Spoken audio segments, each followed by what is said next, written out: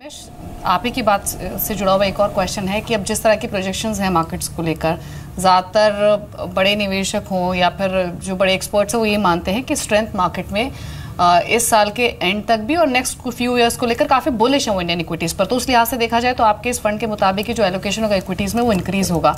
लेकिन अब क्वेश्चन ये है कि एलोकेशन इक्विटीज़ के किस सेगमेंट में ज़्यादा हो सकता है? क्योंकि पिछले कुछ सालों में हमने देखा है कि स्मॉल कैप और मिड कैप्स ने बम्पर रिटर्न दिए हैं लार्ज कैप्स पीछे रहे हैं। लेकिन अब सिनेरियो थोड़ा सा चेंज हो रहा है स्पेशली इस साल की शुरुआत से ही। लार्ज कैप्स की तरफ़ ध्यान जो है वो ज़्यादा जा रहा है। क्या इस तरह का कोई शिफ्ट आप, आपकी एज अ फंड हाउस आप क्या कहेंगे? हो सकता है इस तरीके का? लार्ज कैप्स को ज़्यादा प्रेफरेंस मिल सकती है? हमारे हिसाब से रिस्क रिटर्न के हिसाब से it is better to go for large cap अगर हमारे फंड्स भी देखेंगे, बहुत सारे मल्टी कैप फंड्स का ध्यान आजकल लार्ज कैप्स की तरफ़ ज़्यादा है, क्योंकि रिस्क रिटर्न ज़्यादा बैठ रहा है इक्वेशन और उसके बाद भी ये एक स्टॉक पिकर्स मार्केट हो गया अभी. It's not that broad market because when you are at thirty thousand plus if you see the valuation of mid caps it is so stretched that risk return के हिसाब से हमको तो लगता है कि लार्ज कैप्स में रहना इन्वेस्टर्स के लिए ज़्यादा सेफ़ है और रिटर्न्स के हिसाब से जितनी रिस्क ले रहे हो तो उस हिसाब से रिटर्न्स के risk return ratio large caps में बेटर है मिड कैप से हम्म। निमेश, ये जो आपने लार्ज कैप्स की बात की, इसमें सेक्टोरली इस समय आपका कन्वेक्शन सबसे ज़्यादा कहाँ पर है because you know there are lot of moving parts in economy जो पूरा कंजम्पशन पैटर्न है it will undergo a change as G S T kicks in और टेलीकॉम uh, में हमने देखा कि there is a tectonic shift which is taking place aviation is bouncing back तो there are बहुत सारी स्टोरीज हैं या फिर थीम है इस समय. तो as far as large caps are concern आपका कन्विक्शन या फिर एक्सपोजर कहाँ पर ज़्यादा है इस समय? हमको लगता है यहाँ से आगे जाके नेक्स्ट दो तीन साल अगर हम देखें तो हमको इंफ्रास्ट्रक्चर सेक्टर बहुत अच्छा लगता है। मैं क्यों बता रहा हूँ, अगर लास्ट दस साल के रिटर्न देखें तो हमने इंफ्रास्ट्रक्चर कंपनीज़ में ज़्यादा रिटर्न्स आए नहीं है। I think the number of companies जो सर्वाइव हुई है, वो शायद 50 परसेंट है of the companies that were there 10 years back for investment today the number of companies are still lesser which are available for investment in the coming sector we believe power एक थोड़ा contra call है। Power is the sector that will do well अगर 2019 का election हम सड़क पानी बिजली पे होगा कि किसी ने और जो हम मिनिस्टर्स का सुन रहे हैं कि इंडिया में 24 फोर बाई सेवन पावर्स देने की वो लोग की गवर्नमेंट की जो ऑब्जेक्टिव uh, है उस हिसाब से मुझे लगता है there is a power producer जिसको कोल भी इजीली मिल रहा है और प्रोडक्शन फैसिलिटी भी है कंज्यूमर के वहाँ डिमांड भी है। Uh, the distribution was the major challenge in the power side. I believe those issues and still are, but they are being sorted out. जो उदय स्कीम गवर्नमेंट की है hmm. उसका जो इम्प्लीमेंटेशन हो रहा है मुझे लगता है दो साल में I think this power sector should give a reasonable return to investors consumption theme और साथ ही financial another is the road also that we are very जी हाँ जी बोलिए ये कंजम्पशन और फाइनेंशियल थीम कैसी लग रही है अभी आपको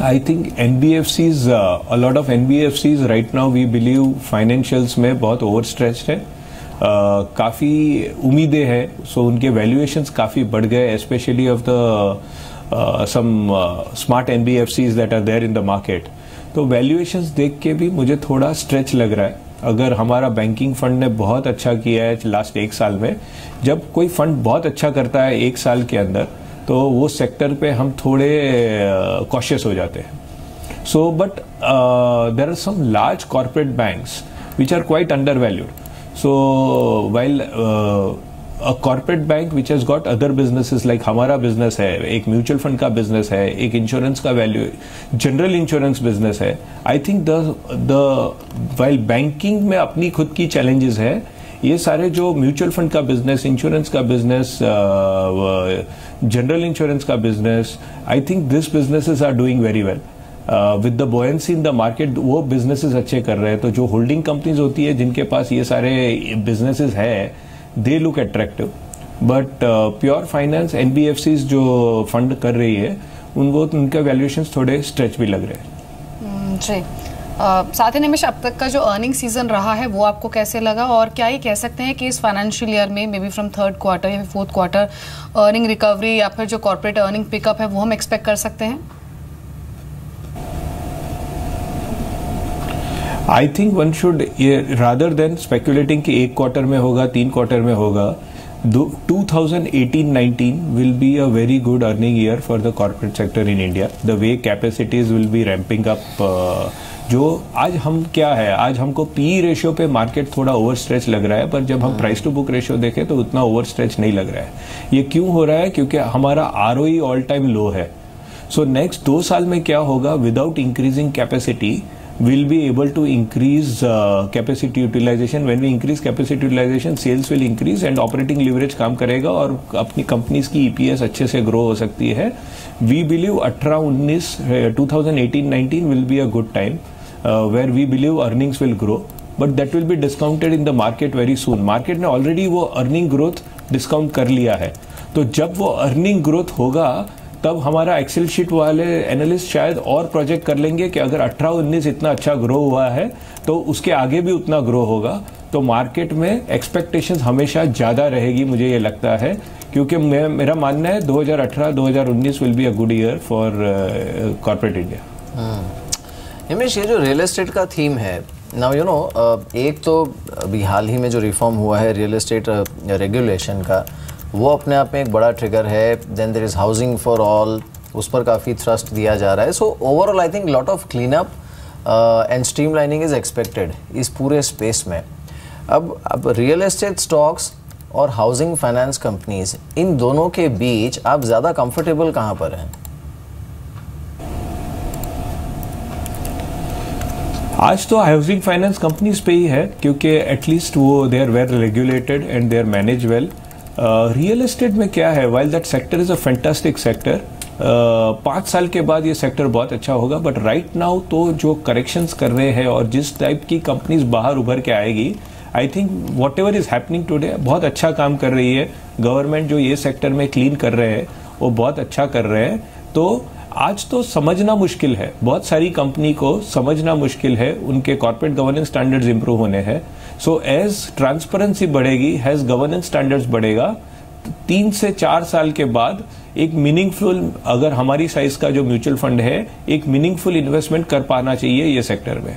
आज कितनी कंपनीज़ है जिसको आप मीनिंगफुली इन्वेस्ट कर सकते हो ये सेक्टर में? The number of companies are very restricted so जो गवर्नमेंट क्लीन कर रही है उनसे ये सेक्टर बेटर होगा तीन साल के बाद। So between between real estate में कितनी कंपनीज़ है जिसपे हम पैसा लगा सकते हैं?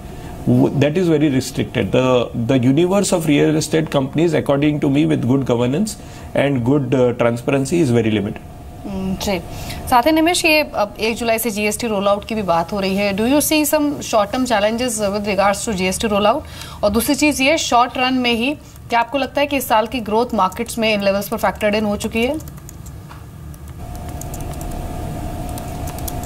I think all of us financial sector में जिनको भी मिलते हो, कोई एक्सपेक्ट नहीं कर रहा है कि इतनी बड़ी रिफॉर्म कंट्री में स्मूथली इंप्लीमेंट हो सकती है। इट विल मुझे लगता है उसकी चैलेंज होगी। बहुत सारी तकनीक डिफिकल्टीज आएगी in implementing GST I believe next six months there will be a amount of confusion in the market but ultimately India में अगर हम डिमोनिटाइजेशन अभी अब हम पाँच महीने पहले क्या बात कर रहे थे और आज क्या बात कर रहे हैं has absorbed it and it has moved on. Similarly, GST, there will be upheaval in the first three months. Ultimately, water will find its level and it will move on. But हमको ध्यान रखना चाहिए as a fund house हमने बहुत काम किया इस पे कि किस टाइप ऑफ़ कंपनीज़ को as as India move from unorganise sector जो कोई तरह के टैक्स नहीं देता था वो अभी टैक्स देना पड़ेगा उसको और अगर वो देना पड़ेगा then the organise sector will benefit out of it so which kind of sectors क्या ऑटो कंपोनेंट पार्ट्स बनाती कंपनी ज़्यादा अच्छा करेगी? क्योंकि जो बिना जो अनऑर्गेनाइज सेक्टर में ऑटो कंपोनेंट्स बन जाते थे और जिस पे कोई टैक्स नहीं लगता था, वो शायद अभी ऑर्गेनाइज प्लेयर्स बेटर कर सकते हैं। So industry after industry we see that people who are in that will be able to the organise sector will benefit out of systematic implementation of GST over a period of one year so so, इसलिए मैं repeat करता हूँ। इसलिए मैंने बोला 2018-19 corporate India के लिए बहुत अच्छा होगा।